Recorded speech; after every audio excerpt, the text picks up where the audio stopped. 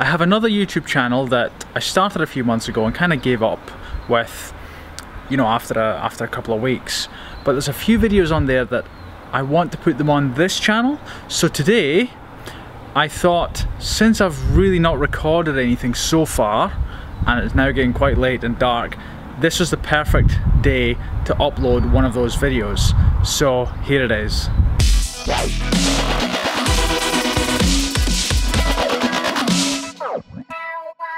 Hey, it's Magnus here, and today I'm going to talk about this, the water jet cutter. This is by no means a comprehensive, full-on guide to the water jet cutter, it's just that I've been asked by a lot of people um, just to sort of show more of it. And so I thought I'll, I'll give a little overview because I'm familiar with the, this water jet cutter now, I've had it for a year and a half done hundreds and hundreds and hundreds of hours with it. It's it's old hat, but I know it's I'm I'm still amazed by it, and I know that a lot of others uh, are amazed by it and don't really know a lot about it because there isn't much information online. So I don't know where to start really. Um, Right, tell you what, there's there's three components to the water jet cutter. You have the main cutter here. We'll start at what it does, work our way back, and then work our way forward. I think that should work. So, if we look down here, we have, you can see that, this is the, this is the nozzle here. So what comes out of that nozzle at twice the speed of sound is basically a jet of water, very high pressure.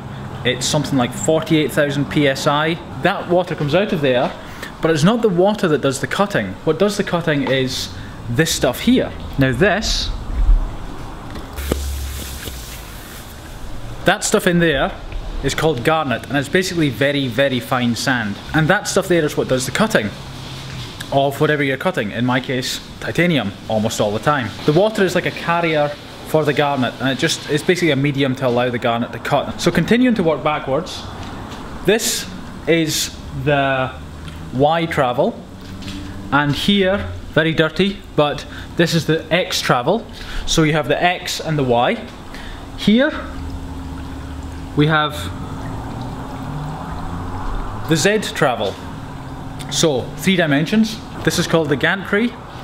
The whole gantry is resting on basically a huge tank of water.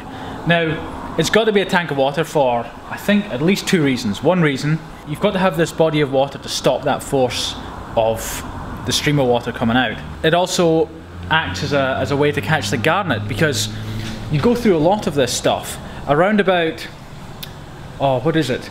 20, ki 20 kilograms an hour, so that's about 40 pounds um, every hour. So when you do a full day's cutting, you're going through about 400 pounds of the stuff. So that ends up in the bottom of that tank. Another thing to mention is that this water gets really, really hot. When you cut all day, it gets so hot you can hardly put your put your put your hand in it. Like I can put my hand in there right now but I couldn't keep it in. So continuing to work back the way, we have the nozzle down here.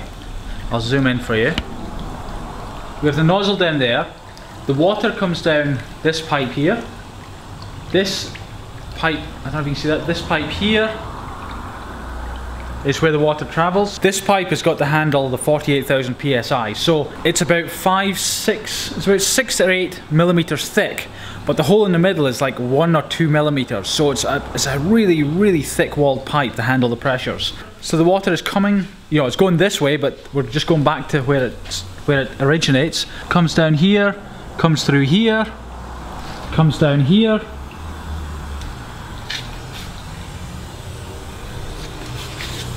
this is where it ends up this is the pump this is the main pump it's really heavy because if you look down here, you see that there?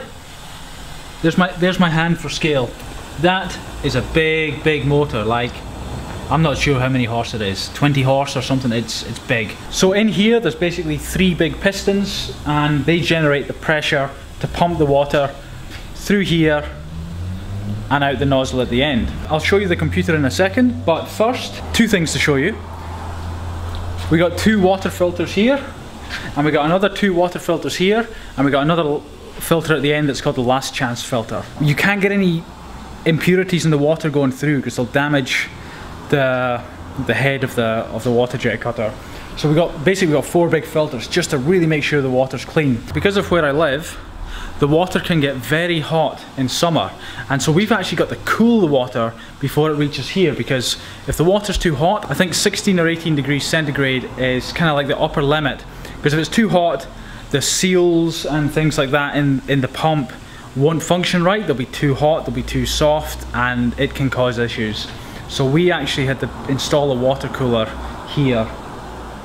And that's the tank that holds the cold water before it goes into the machine. That's specific to us. I don't believe many or any other people have that. Now I'm really only scratching the surface of this water jet cutter. There's so much more to it, but I just want to give you a quick overview. Lastly, we have the computer which runs it. So this is the screen. This is a bit of software you get with it. The make of this water jet cutter is Maxiem. Omax is the company. Maxiem is this sort of make model that they do. And this is the smallest one they do actually. This is the sort of smallest water jet cutter you can get, certainly from Omax anyway. This is the screen uh, where you can sort of do your drawing.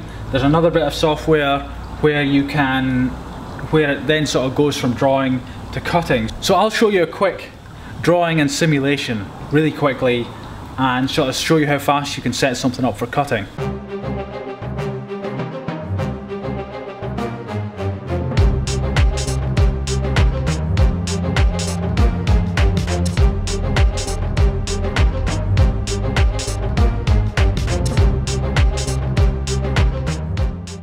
And that's it really. Like that's it simulated, that's shown what it's going to cut when we actually run it.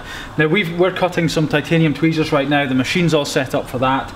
It, it's, it'll be too much hassle just to sort of stop doing that to show you a cut, but I'll show you a cut another day. So yeah, hopefully that gives you a bit of an overview. I've obviously missed out some major parts and you might be confused and you, you know, feel free to comment and I can do another video later, but that should give you an overview of how the water jet cutter works.